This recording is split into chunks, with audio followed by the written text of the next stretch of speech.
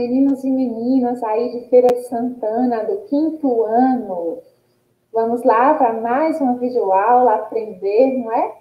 Se estiverem aí num lugar barulhento, saiam desse lugar, vão para um lugar silencioso, tranquilo, para que a sua atenção esteja aí voltada, né, de forma completa para o assunto que a gente vai estudar nessa videoaula. Então, ó, fiquem ligados, fiquem espertos, né, para que o que a Pro explica, o que a Pro fala, aí vocês consigam compreender e possa, de fato, ajudar vocês nas atividades que estão sendo feitas em casa. Vamos lá? Olha só, minha gente, a aula agora é de matemática e também de ciências naturais. E aí, nessa aula de matemática e ciências naturais, nós vamos estudar sobre transformação dos alimentos na boca. Hum, e os alimentos se transformam na boca? Como é isso, Pro?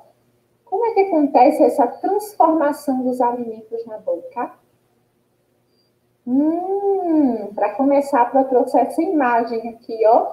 Observem aí esse bolo de chocolate. Que bolo gostoso, hein? Quem aí gosta de bolo de chocolate? Quem gosta de chocolate, não é? Quando a gente olha esse bolo sendo tirado uma fatia, né? Vocês estão sentindo aí vontade de comer?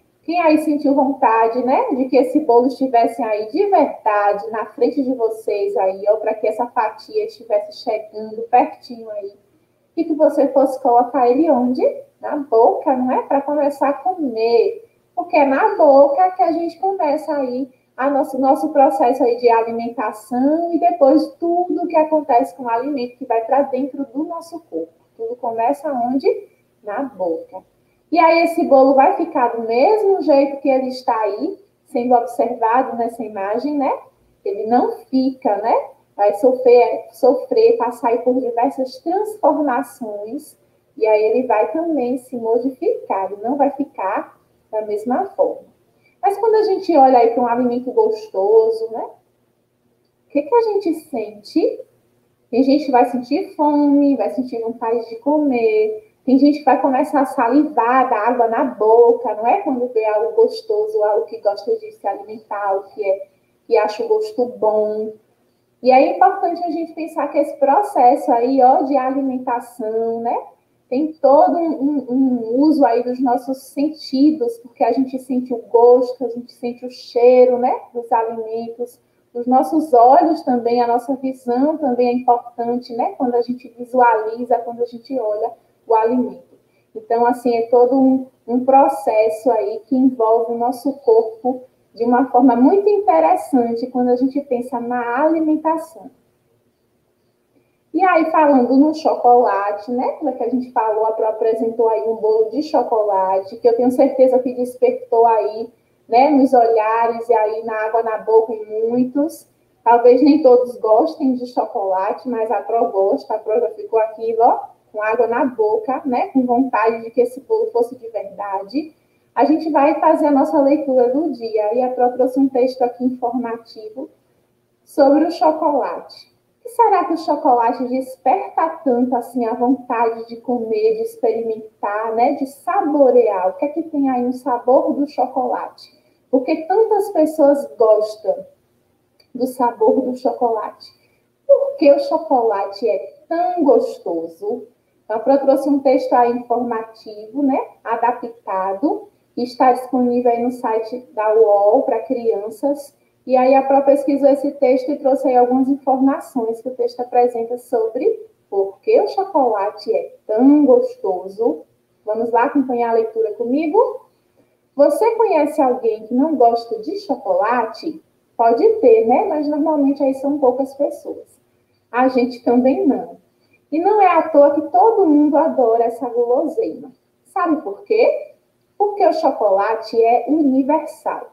Ele agrada pessoas do mundo todo, não importa com que sabores elas já estejam acostumadas. Ele aumenta o nível de serotonina do nosso organismo. Serotonina é o hormônio que nos deixa com a sensação de felicidade. Chocolate alivia a tensão e é energético. Três inas são responsáveis por isso: a cafeína e a teobromina, estimulantes, e a anandamina, que diminui a ansiedade. ele tem feniletilamina, o hormônio da paixão, quando alguém se apaixona. O nível desta substância no corpo aumenta. Dizem que é por isso que as mulheres apaixonadas vivem pelos cantos, suspirando e comendo bombons. Para completar, o chocolate possui ainda vitaminas A, B, C e D, além de potássio, sódio, ferro e flúor. Então, a gente observa aí que no nosso organismo, né, o chocolate provoca diversas reações é, e nos oferece também muitos nutrientes importantes. A gente pode comer só chocolate? Não. A gente pode comer muito chocolate? Também não, não é? Apesar da sua importância em valor energético e também nutrientes importantes aí, substâncias importantes para o nosso corpo, não é motivo para a gente comer só chocolate ou comer muito chocolate.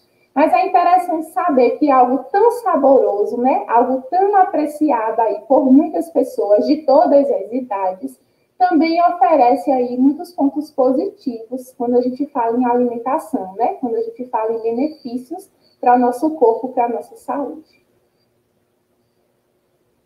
Mas aí, falando em chocolate, né? E falando aí no bolo de chocolate, aí a gente lembra do processo de alimentação e a gente não come só chocolate. Então, eu trouxe aqui algumas imagens para a gente observar.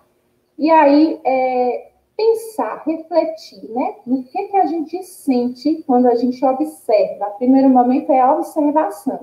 Aí a Pro trouxe ali o biscoito, né? Salgado, a jujuba e também o iogurte. Vamos primeiro observar em relação à textura desses alimentos, né? A gente vê ali o biscoito, ele é sólido, né? É durinho, né? É seco. Aí a gente vê a jujuba é, é doce, né?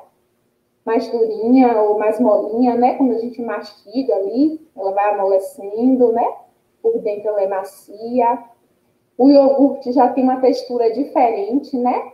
Não vai ser necessário a gente utilizar os nossos dentes aí para mastigar, porque ele tem uma textura mais líquida, né? Cremosa. Então, a gente observa alimentos com gostos e também com características diferentes. E isso vai interferir no que a gente sente também em como esse alimento é, vai se processar, o que, é que vai acontecer com ele também ao, ao, introduzir cada alimento aí no nosso processo de alimentação, né? E que vai começar onde? Pela boca. E aí tem algumas perguntas que a Pro colocou para a gente observar em relação a cada alimento que está sendo mostrado.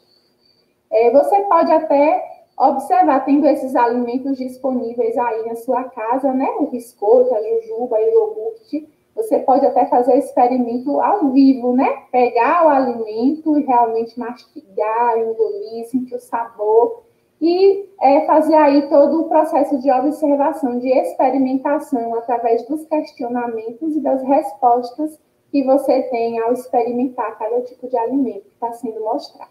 Ou outros alimentos também que você tenha disponível e pode também observar aí que o que você sente, né, ao é, fazer o processo de alimentação ao mastigar, ao engolir, né? Cada alimento com suas próprias características, você vai perceber aí que cada um tem um processo diferente e que tem sensações diferentes também. Mas vamos lá pensar nesses alimentos que estão sendo mostrados. Qual o aspecto do alimento antes de ser colocado dentro da boca? A gente já viu aí que cada um possui características diferentes, né? Tem um biscoito que é salgado, é mais é sólido, né? Aí a jujuba já tem um, uma textura mais molinha, menor. A gente vai, o biscoito a gente tem que morder em pedaços, né? A jujuba a gente já consegue colocar uma inteira na boca, vai morder só quando ela já estiver dentro da boca. E a gente viu que o iogurte aí tem a textura mais líquida, né? Cremosa. Então, os aspectos aí, a forma como esses alimentos se apresentam dentro da boca da gente, elas não são iguais. O que, que acontece imediatamente quando o alimento é colocado na boca? Já é algo automático, né? Tirando o iogurte, que já é cremoso, já é líquido, a gente não vai, no primeiro momento, engolir. O que, que a gente vai fazer? A gente vai começar o processo de mastigação. A gente vai utilizar os nossos dentes, tanto no biscoito quanto na jujuba. O que, que a boca começa a fazer com o alimento? a boca começa a transformar esse alimento, né, em pedaços menores, para que a gente consiga engolir. Então, tanto o biscoito quanto a jujuba, que estão aí em estados sólidos, né, estão aí numa textura diferente, a gente vai ter que mastigar, mastigar, para que eles fiquem em pedaços menores e a gente consiga engolir esse alimento. E aí, como é que o alimento está momentos antes de ser engolido? Aí, quando a gente mastiga o biscoito, mastiga a jujuba, né? A gente vai perceber que eles vão sendo amolecidos, né? Eles vão sendo triturados e aí vão se transformando numa espécie de pasta, né? Uma textura aí bem próxima ao iogurte, né? Que tá cremoso, para que a gente consiga fazer aí é, o processo de deglutição, que é engolir o alimento. E por que é importante que a boca transforme o alimento dessa forma antes de ser engolido? Quem vai conseguir engolir o biscoito inteiro? Quem vai conseguir engolir a jujuba sem mastigar? Não é? Tirando o iogurte, que já está na textura cremosa, a gente engole sem precisar mastigar. Os outros dois alimentos, eles precisam chegar nessa textura. A gente não vai conseguir engolir né, um alimento, aí a gente corre o risco de engasgar ou de ter algum problema né, no nosso, no nosso, na nossa garganta aí, até na nossa boca, por conta de tentar engolir um alimento sem fazer esse processo de mastigação, onde ele vai ser transformado aí em pedaços menores. É importante a gente pensar também que transformar o alimento em pedaços menores e um processo que se inicia na boca vai ser importante também para a digestão desse alimento, porque ele já vai chegar com um processo iniciado de digestão ao nosso estômago. E a gente vai ver o quanto isso é importante dentro do nosso processo aí, do nosso sistema digestório. Você já pensou sobre o que ocorre com os alimentos após entrarem em nosso corpo? Então, aí é interessante a gente pensar, a gente pensar no quanto o alimento é gostoso, no quanto a gente vê e aí a gente sente vontade de comer, o quanto a fome, quando ela é saciada, é algo bom, né? Mas aí, quando a gente come, a gente mastiga, a gente engole, e o que, que acontece com esse alimento a partir do momento em que a gente coloca ele na boca, né? Então, aí depois de comermos, vários processos transformam aquilo que ingerimos em um composto digerido, formado por partes diminutas que poderão passar pelas paredes dos nossos órgãos. E aí é interessante porque o processo de alimentação, né, passa aí por vários momentos onde ele vai ficando menor, onde partículas vão sendo quebradas, né, moléculas vão sendo quebradas, e o nosso corpo consegue é, tirar desses alimentos todos os nutrientes, as vitaminas, né, que, que o nosso corpo precisa para funcionar. E aí o alimento que a gente coloca inicialmente em nossa boca, ele se transforma aí no, no sustento, no combustível que os nossos órgãos e que toda a movimentação do nosso corpo exige para o seu pleno funcionamento. Então, por isso que é importante uma alimentação variada, uma alimentação saudável, porque a gente não precisa de um tipo só de substância, um tipo só de vitamina, né? Um tipo só de nutriente. A gente precisa de vários tipos, porque cada um tem a sua função, cada um tem a sua utilidade. Então, a variedade na alimentação vai influenciar na forma como o nosso corpo vai ser abastecido de tudo que ele precisa para funcionar. E aí a gente percebe que o processo digestório, né, esse processo de transformar o alimento que a gente coloca em nossa boca e absorver dele todos os nutrientes, as vitaminas necessárias para que o nosso corpo funcione, começa justamente na boca. Não começa lá no nosso estômago, não. A partir do momento que a gente visualiza o alimento e que a gente coloca ele em nossa boca, esse processo aí de digestão do alimento ele já se iniciou.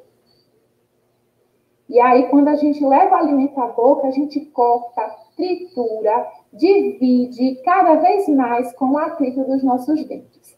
Então, o nosso, o nosso estômago, né?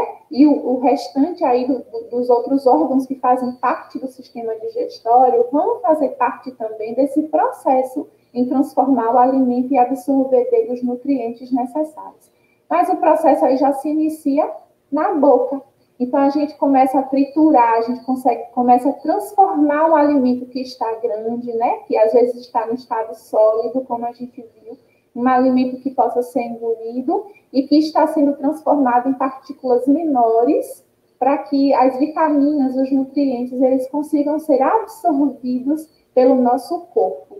E aí o nosso corpo faça chegar esses nutrientes necessários, né? Em cada pedacinho, em cada órgão, em cada é, funcionamento que o nosso corpo precisa ter.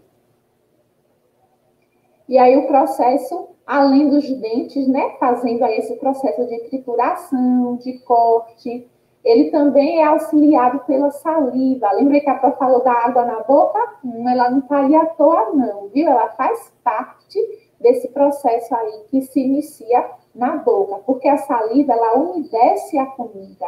E a língua também ajuda a movimentar, não é? A, esse alimento dentro da boca, nesse processo onde ele está sendo triturado, onde ele está sendo cortado, dividido. E aí formando, então, é, o bolo alimentar, que é o alimento já na textura em que a gente consegue engolir. E aí, nessa imagem, a gente observa aí é, a ilustração das ações que acontecem no processo de digestão. Então, existem aí processos né, mecânicos e também processos químicos, a partir do momento em que você coloca um determinado alimento na boca. Então, o alimento, ele passa pelo processo mecânico da mastigação, onde ali os dentes vão triturar, vão dividir, junto com a língua, vai ajudar a movimentar esses alimentos triturados. E também passa pela ação química da saliva, que vai amolecendo, vai transformando esse alimento que está sólido, né, em algo que possa ser pastoso e formando aí o bolo alimentar para ser engolido. A Pro colocou aqui, ó, na ilustração aparecem né, essas palavras parótida, sublingual e submaxilar. Isso correspondem aí às glândulas salivares, que são aí os lugares onde a saliva é produzida, né? E elas são levadas através dos canais, né, até dentro da nossa boca. E aí é importante a gente perceber, né, todos esses órgãos, né, esses elementos que estão dentro da sua boca que contribuem aí para o processo de digestão dos alimentos. Então, a saliva, né, que é produzida pelas glândulas saliva, salivares, a língua e também os dentes têm uma função aí muito importante no processo de digestão. E aí a Pro trouxe aí a imagem da boca para a gente identificar né, as partes aí que compõem a boca e ajudam no processo, no início do processo aí do sistema digestório. E aí nós temos os dentes, e aí nós temos dentes superiores e dentes também inferiores. E é bem importante lembrarmos aí que as funções dos dentes variam, por isso que eles têm formatos diferentes. Então, a gente tem dentes aí que são é, especializados em triturar, em amassar, outros em rasgar, em cortar. Então, o formato diferente dos dentes, eles não estão aí à toa, né? Os formatos diferentes nos dentes tem, são atribuídos a funções diferentes nos dentes, né? Porque a gente precisa fazer todo esse processo na hora que o alimento é colocado dentro da boca.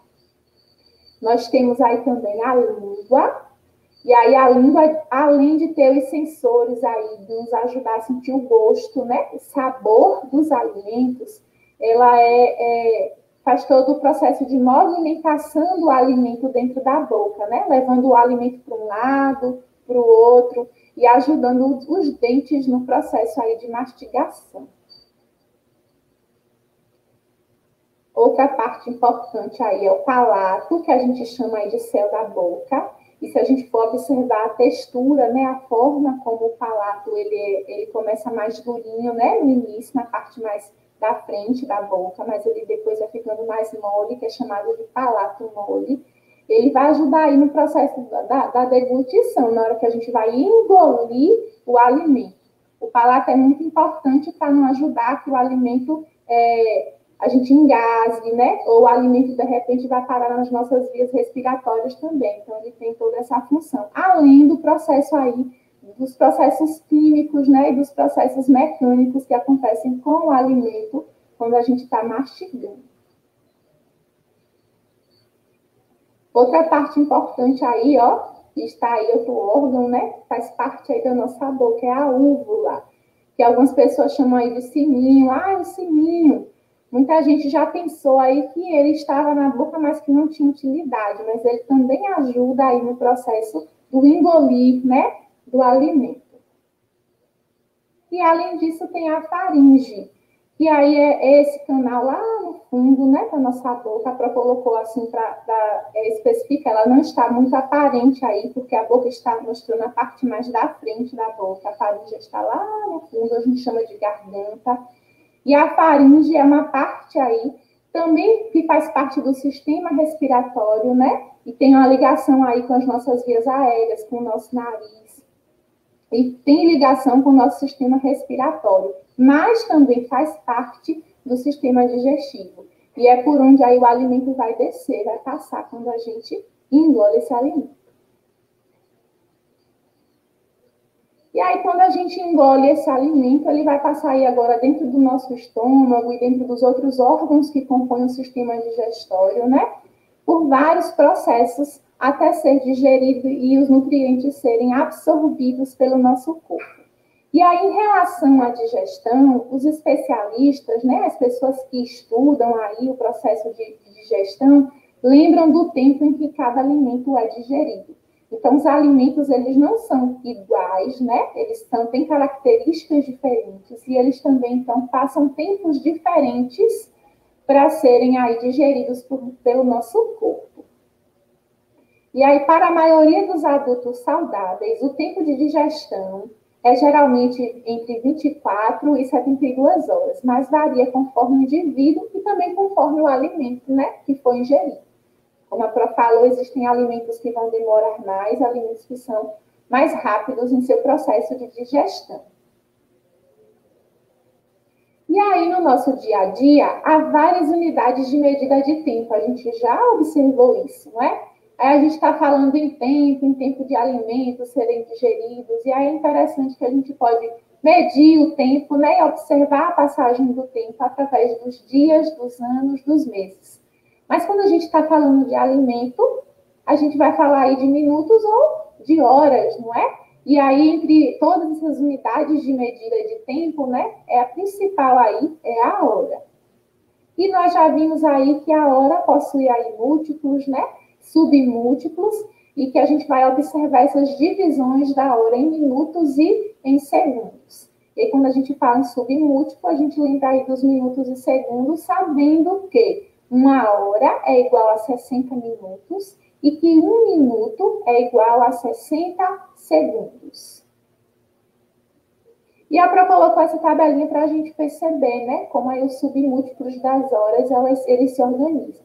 Então, de hora para minuto, a gente, se a gente tem uma hora e quer calcular essa hora em minutos, a gente vai fazer o processo de multiplicação. Por isso que tem esse sinalzinho aqui, que também corresponde à multiplicação. Então, a gente vai multiplicar por 60 e achar o resultado em minuto. E se eu quiser transformar um valor em minuto, eu preciso multiplicar por 60 e transformar esse valor de minuto em segundo. Quando eu estou vindo aí, ó, das, das medidas menores para as maiores, eu já faço o processo inverso. Em vez de fazer multiplicação, eu já utilizo a divisão. Olha o sinalzinho aqui. Então, se eu quero transformar um certo valor em segundo em minutos, eu vou dividir por 60. E se eu quero transformar um certo valor em minutos em horas, eu também vou dividir por 60. Então, a gente observa aí, ó, que quando os valores eles vão diminuindo, eu multiplico. Quando os valores vão aumentando, né, vão para uma unidade de medida maior, eu vou dividir. Tudo isso por 60, porque tem as equivalências aqui que a Pro citou antes. Ó, uma hora vale 60 minutos e um minuto vale 60 segundos. Mas aí a Pro falou, a Pro explicou. Vamos ver, assim, na prática, né, como essas situações elas podem ser resolvidas fazendo aí as multiplicações e divisões e transformando horas em minutos, minutos em segundos, ou minutos em horas e fazer aí todos esses processos. A Pro trouxe aqui alguns desafios para a gente observar esse processo aí de transformação de valores. E aí, olha só. Observando a tabela com o tempo de digestão de alguns alimentos, transforme as horas em minutos. Hum, vamos lá? Aí a Pro tem aqui uma tabela, né, com alguns alimentos e na frente o tempo de digestão de cada alimento citado. Então tem aqui sorvete de frutas, 5 minutos. Prato de sopa, uma hora. Copo de leite, uma hora e meia. Prato de macarronada, duas horas. Salada verde, duas horas.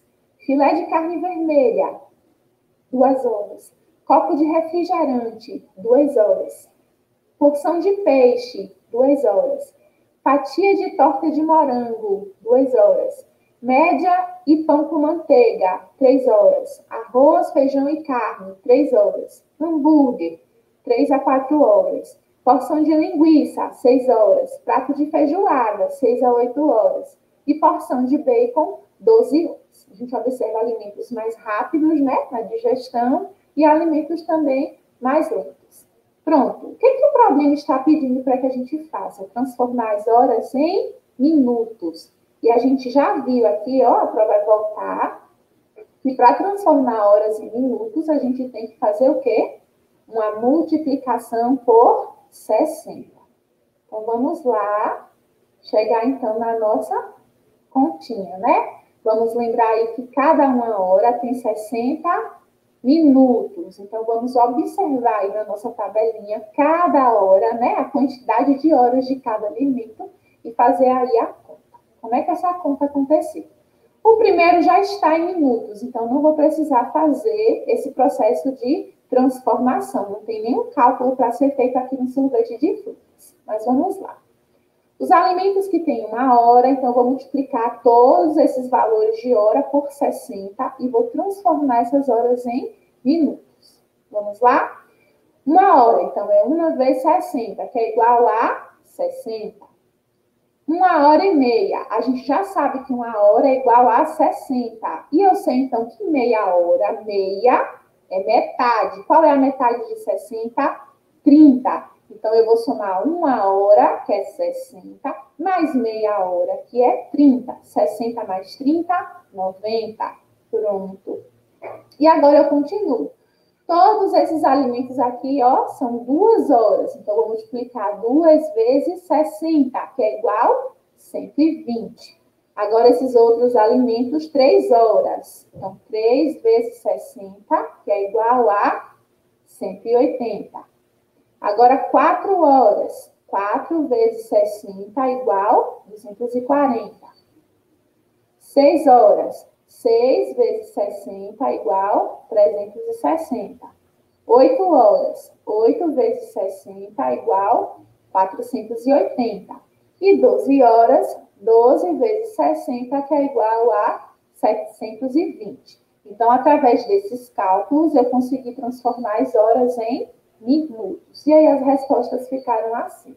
O sorvete de fruta já está calculado em minutos, mas aí, ó, o prato de sopa, 60 minutos. O copo de leite, 90 minutos. O prato de macarronada, 120. A salada verde, também 120.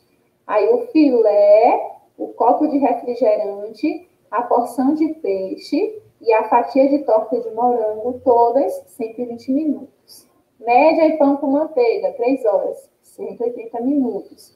Arroz, feijão e carne também, 180. O hambúrguer, que é de 3 a 4 horas, então 180 a 240 minutos.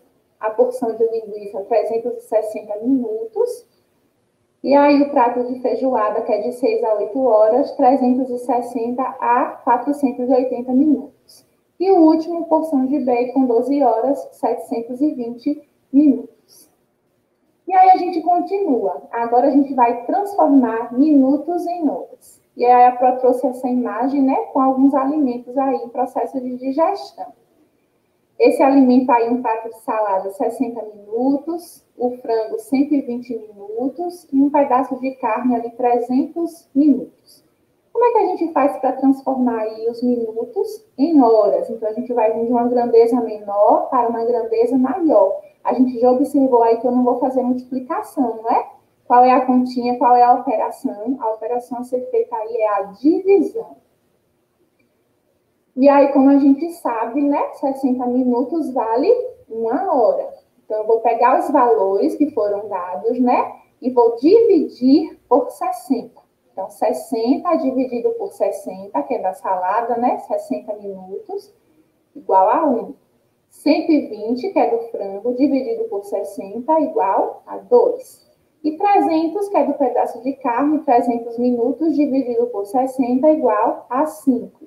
Então, esses valores encontrados aqui correspondem aos valores em horas, né? Então, 60 minutos, uma hora. 120 minutos, duas horas. 300 minutos, cinco horas. Que são as respostas que a gente encontra aqui quando transforma aí minutos em horas. Lembrando aí que quando a gente transformou de uma grandeza menor, né, para uma grandeza maior, a gente uma grandeza maior para uma grandeza menor, a gente multiplicou. Quando veio uma grandeza menor para uma grandeza maior, a gente dividiu. Então, aí, ó, de horas para minutos, nós multiplicamos, e de, de minutos para horas, nós dividimos. E aí, agora é com você. Observando aí todo o processo né, de digestão, é, o funcionamento do nosso sistema digestório iniciado pela boca, e aí associando isso aos tempos que cada alimento demora para se digerir né, nosso organismo e passar para ele os nutrientes necessários é, para o nosso corpo, para o funcionamento do nosso corpo. Dê agora continuidade né, à atividade que a sua prova ou o seu professor preparou para esta aula. E ó, a gente se encontra, viu, turma? Tchau, tchau.